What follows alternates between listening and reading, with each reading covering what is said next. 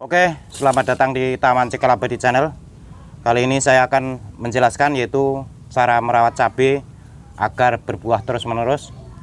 Karena di channel kita sudah ada yaitu teknik menanam cabai terkait dengan e, banyak pertanyaan yaitu untuk tanam cabai agar bisa berbuah itu seperti apa. Lanjut semua itu untuk tanaman itu karena makhluk hidup itu akan e, berpengaruh ya. Jadi bibit cabai itu juga mempengaruhi suatu pertumbuhan. Kalau bibitnya tidak bagus, masih muda, ditanam nanti tanamannya tumbuhnya kecil, bahkan dipotong pun tidak mau bercabang untuk pohon cabenya. Di sini yang untuk bibitnya itu kita dipetik yang sudah matang di tempat. Kalau perlu itu pembuahan waktu pertama itu masih besar-besar buahnya ya. Jadi lebih bagus buah-buah dipilih yang eh, besar-besar seperti ini lalu nanti dijemur ditanam untuk bibit. Ini banyak sekali yaitu buahnya. Jadi dalam waktu berkala itu tetap eh, ditambah media tanam. Karena ditanam ini di karung ya terkait cabai-cabai yang ditanam di karung di lahan bebas di pot itu eh, ada. Namun sedikit perawatannya itu berbeda. Di sini saya jelaskan juga cara eh, memetik cabai yang untuk biji berkualitas seperti ini. Lalu di sini ada dua yaitu pohon cabai. Yang satu daunnya itu masih muda belum berbuah. Jadi ini warnanya lebih biru kalau muda. Nanti setelah berbuah ini sama daunnya itu akan kekuningan ya. Lalu yang sudah berbuah seperti ini karena sudah uh, lebih dari tiga bulan ini digemburkan saja di media tanamnya seperti ini ya di pinggir saja ditusuk seperti ini nanti akarnya itu akan putus. Akar yang sudah menyentuh di pinggir pot itu akan putus. Dan tumbuh lagi akar yang uh, muda tetap ditambah media tanam. Untuk yang di sini yang di pot satu ini masih muda. Daunnya masih muda jadi uh, belum digemburkan. Itu ditambah saja media tanam dan pupuk terkait untuk media tanam ini kita bikin sendiri mungkin di teknik cara tanamnya silahkan uh, ditonton ya. Jadi sekam tanah merah gebur dan pupuk kandang. Karena kalau berbeda media tanam bahkan media tanamnya itu tidak jelas ataupun media tanam ada unsur mengandung minyak ataupun oli itu buat tanam itu juga tidak subur. Maka semuanya itu uh, berdampak terhadap suatu pertumbuhan pada tanaman ya.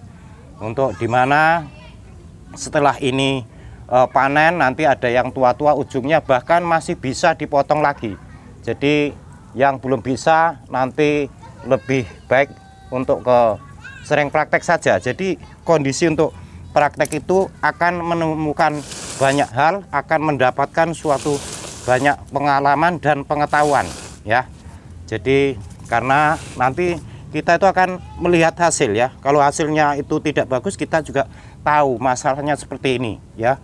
Kalau kebanyakan pupuk terlalu banyak itu juga panas, tanaman itu bisa layu, hangus karena terkait banyak sekali pertanyaan-pertanyaan yang di uh, channel saya.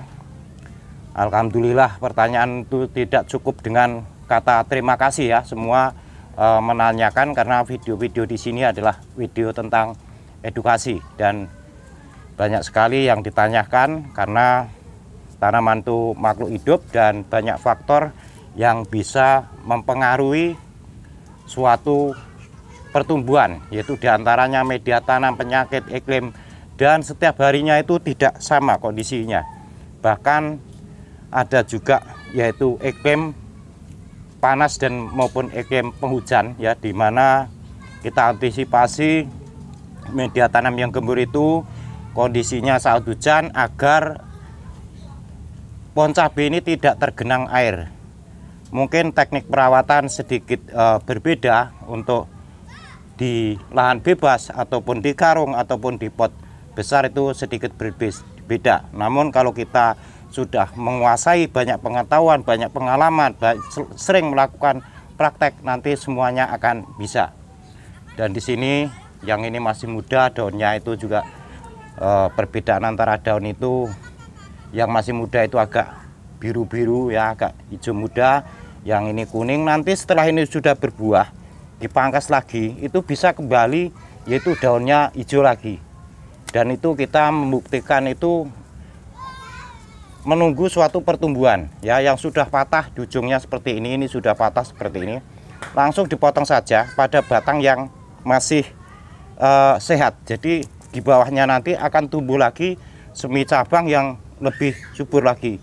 Untuk ujung-ujung yang sudah tua nanti segera dipotong saja.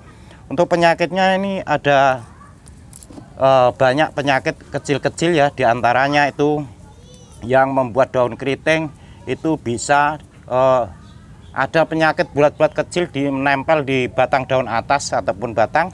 Ada kutu putih juga ya. Jadi kadang-kadang ada ulatnya. Maka kita harus uh, dilihat fisiknya dan ada seperti halnya itu binatang kecil-kecil ini kalau digoyang seperti ini binatangnya itu uh, pada terbang. Jadi kecil-kecil sekali itu. Kalau kebanyakan itu malam binatangnya. Jadi digoyang seperti ini penyakit ini pada terbang kecil-kecil itu tidak kelihatan bisa e, membuat daun keriting dan bisa membuat e, cabai ini rontok semua dan digigit kecil-kecil itu bisa rontok. Untuk penyakit semuanya itu antisipasi saja dengan obat hama tanaman. Ya nanti bisa dibeli di toko pot ataupun toko pupuk terdekat.